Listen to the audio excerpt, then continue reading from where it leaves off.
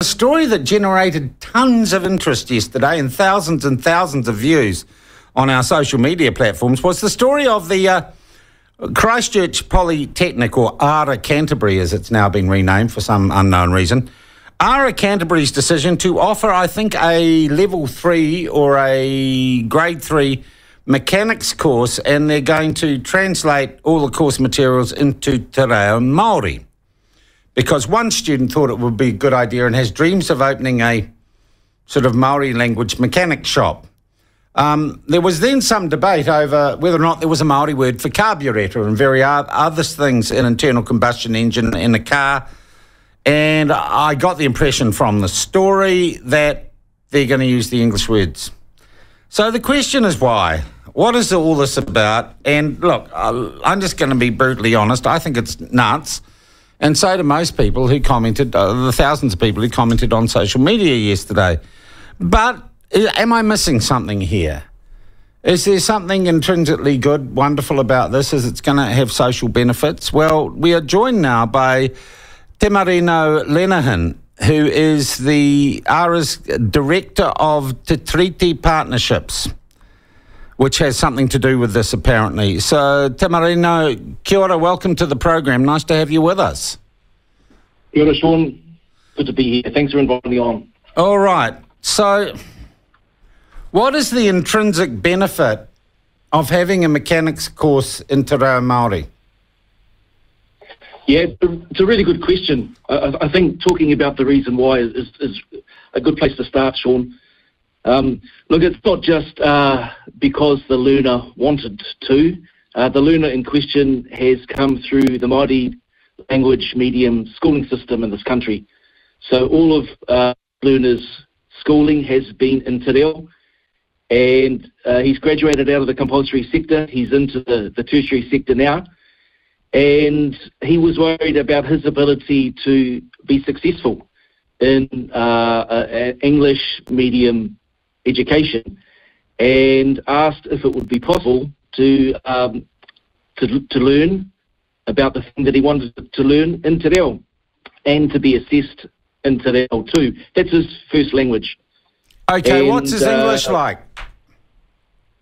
Look, I, I, I, don't know the student in question. I, I, do know, Sean, that my own children are first language Māori speakers. Uh, and when they went into mainstream education, uh, they did struggle because it wasn't their first language. So there is a, a real challenge for our country uh, to support all of our people to be successful in education, uh, whether they are first language speakers of English or first language speakers of Māori. Uh, both, both of these languages are our languages. Uh, our languages of this country. Well, so I don't, well, well, both of them are. Uh, well, actually, I'm not sure English is an official language of, uh, of this country, but you must recognise that Maori is not widely spoken and particularly not widely spoken outside New Zealand, and in commerce and in business and indeed in mechanics, simply has no you're presence right. as a language.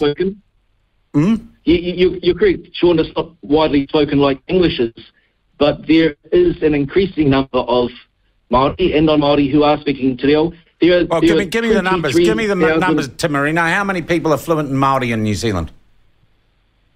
Look, we can probably get that data off off uh, off the internet, Sean. But last year there were 23,000 children enrolled in Maori medium language education in New Zealand. Yeah, which still doesn't explain why we're having a Maori mechanics course, Maori language mechanics course at Canterbury Polytechnic. Yeah, let, let, let, let me explain uh, the the reason why. The, the, the reason why is uh, the kids succeed better. Uh, children coming through Māori medium education, Māori children coming through Māori medium education are more successful than Māori children coming through mm. non-Māori medium education. Yeah. a report was released last year by the government. Uh, the name of the report is Te Kura Huanui, uh, the Treasures of Successful Pathways. It shows how successful Māori medium education is for Māori children. That, that's the reality of it. Um, Another reality is when they come out of the compulsory sector, they have very limited options to continue their education in Te Reo. Um, Ara has seen uh, the future.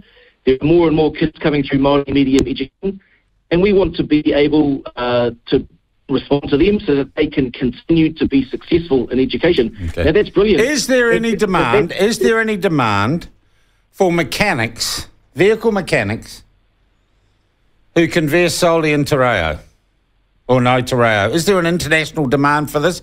Has any employer expressed a demand for this? No, but I, I, I think what we know about this Luna is they are passionate about automotive. I don't uh, care if they're passionate. But I care about want- what happens with my tax dollar.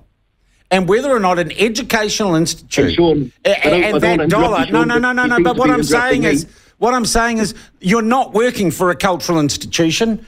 You're working for an educational institution.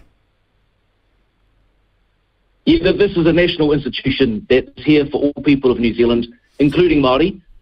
And here's a learner who wants to begin uh, a business in automotive engineering, and he wants to to run that business in his first language. Has anyone done any business that there are analysis as to whether there is a market for his business? Sorry, you'll have to repeat that, Sean. Has speaking anyone done has anyone done any market analysis as to whether or not there is any market for the business of a Maori mechanic?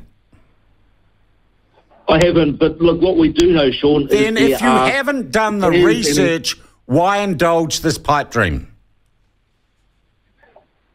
Look, what we do know, Sean, is there are more and more people learning Te Reo and speaking Te Reo as a first language. So there's a market. Without a doubt, there's a growing market. Well, no, you can't show me the research that says there is a market. That's your wishful Pollyannish thinking.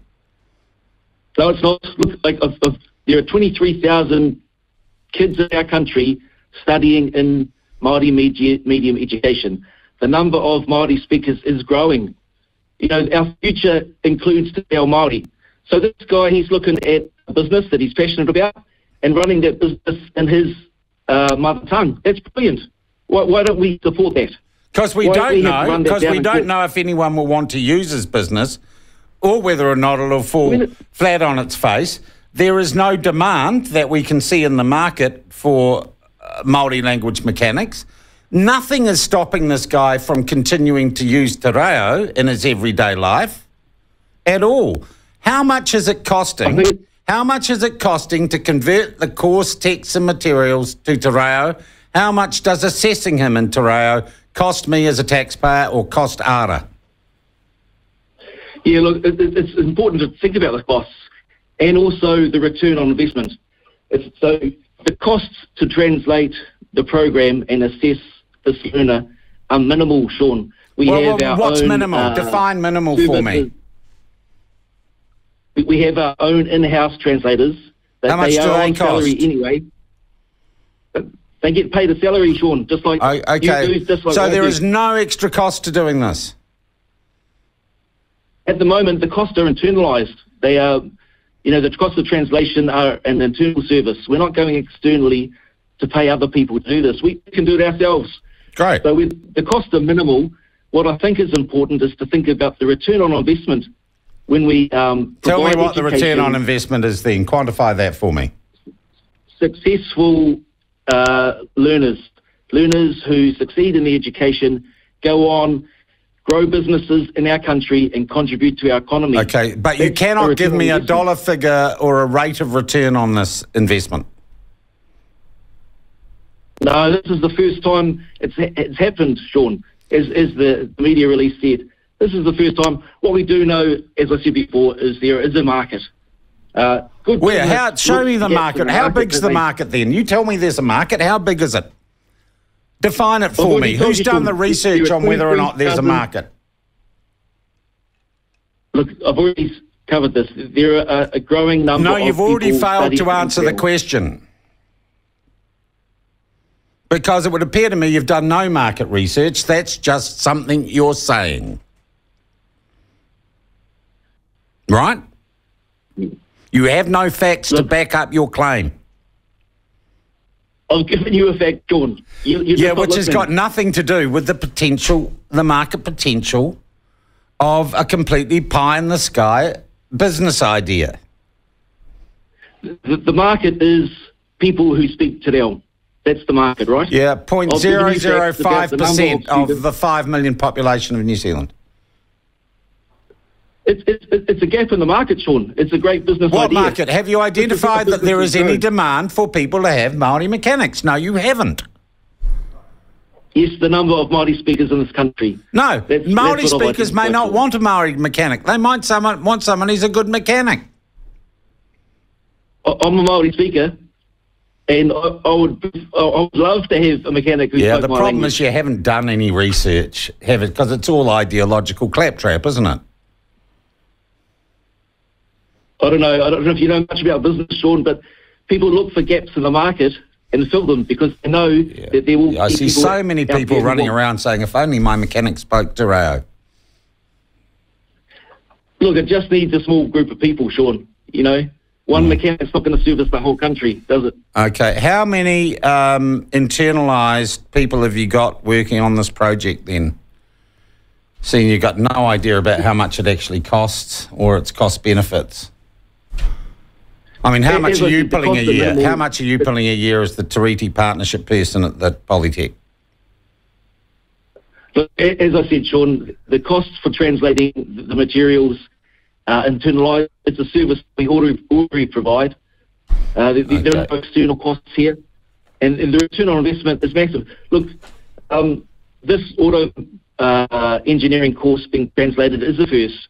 Um, Yeah, with the there's a reason for that. Of all polytechs in the country. Yeah. Um, it will become available for all uh, students who study auto engineering in the country. Fantastic. I thank you for your time. Yeah, the, the, the, the potential is, is amazing. And No, it's look, not. There is minimal, no potential. You failed to qualify any potential. It is just a load of claptrap, if I'm going to be brutally honest with you. But it gets it keeps you in work, doesn't it? See ya. Um, sorry. Oh, there's a market niche. No, there's not. You haven't identified one. You can't tell me how much it costs. You can't tell me what the market is. Honestly, how much long do we have to put up? And that guy's got a full time job managing the treaty partnerships for ARA Canterbury, which used to be the Canterbury Polytechnic.